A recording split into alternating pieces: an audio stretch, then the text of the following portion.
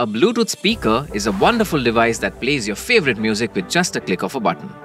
You don't need to physically touch the speakers to play and pause the music or even control the volume.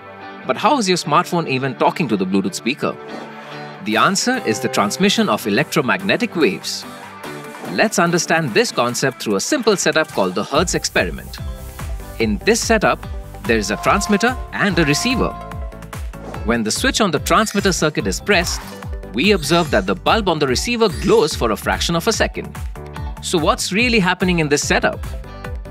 When the switch is pressed, it creates a high voltage difference that generates a spark on the transmitter.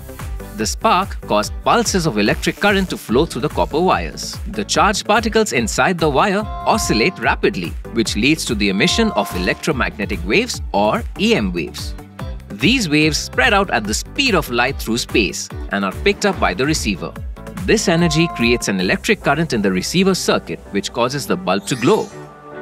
So, the next time you use your Bluetooth speaker, you can thank electromagnetic waves for helping you play your favorite music with just a click of a button.